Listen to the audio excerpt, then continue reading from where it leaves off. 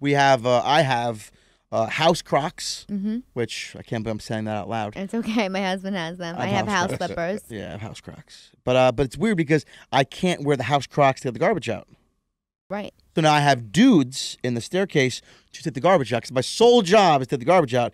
And I've noticed if you're married to an Italian woman, she won't take it out. She'll stack it as high as she can. So two things about what you. First of all, the shoes in the house was a big debate we had on our podcast, Mm-hmm. and it's like it's not about because I, think you know somebody joked like uh, it takes the cool right out of you or something when you have to like be in someone's house with like a whole outfit on and just your socks or whatever. Yeah. But it was it was about like what you're bringing into that house, like the public bathroom, regular shit That was on Sopranos, the laces. that is Get wet. all over your like so Mm-hmm. for easter i i take the rugs up i'm like i'm not going to make 25 people take their shoes off but they're not going to be stepping on my rugs with their sneakers right. and then my floors get cleaned immediately after they leave